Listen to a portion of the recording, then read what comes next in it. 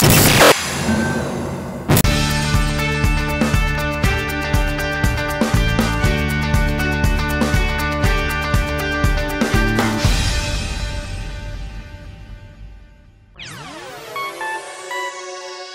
the biggest ballet competition in the world, so I'm not sure if it can get any bigger than this.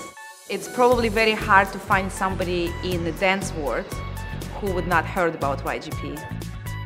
In YAGP, I find that they have their pulse on all of the young people in the world, actually, um, not just in one place, which is very interesting to see the standard of dance around the world because it's different in every place. Besides just performing on the stage, which is the dancers die to perform on the stage, um, they get scholarship. Uh, they get more inspired by watching other dancers and feeling like, oh, okay, I see this one, she's beautiful, I wanted to be like her, or something like that. It's the great opportunity to show yourself in New York in front of the directors of other schools and the companies. So it's they're taken pretty seriously. Coming to the uh, Youth American Grand Prix and all the uh, uh, prior uh, competitions around the world um, allows them to possibly have that opportunity of being selected by one of the top schools around the world and being financed into um, that training and to give them that opportunity which normally they would miss out on. They uh, get exposed to great uh, judges they take master classes with wonderful people that they cannot ever get to them. My name is Natalia Lushina I dance with the Bolshoi Ballet Company. I graduated Bolshoi Ballet Academy. My career was 21 years with New York City Ballet. I started dancing because my sister was dancing and, and uh, you know, with 14 years old, I was in La Scala in Milan, then I came here to the School of American Ballet.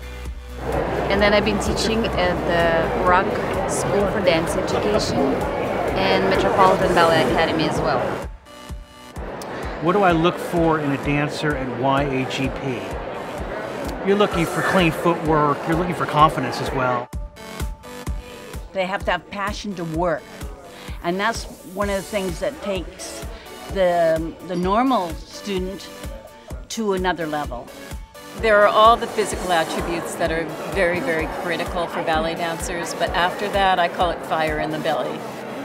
What I always talk is about the heart, about the, the, the, the, the how much they enjoy dancing. And so when you see them and you see a person that is so uh, illuminated with, with passion because they are so, their personality is so big and what they have to tell is so, so interesting.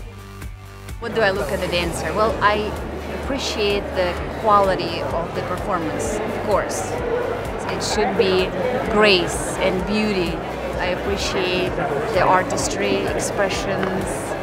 Quality of movement, facial expression, stage presence.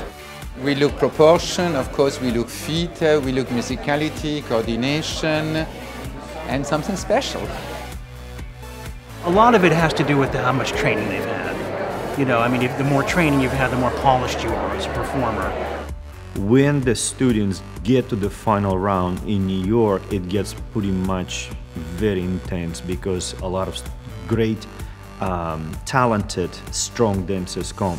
And if you qualify, you want to look good. You want to you want to compete. You want to get to the final round, which is the last day of the competition. You want to get placed. You want to get that scholarship or get to the company. I think it's tough, tough, tough, tough competition in New York.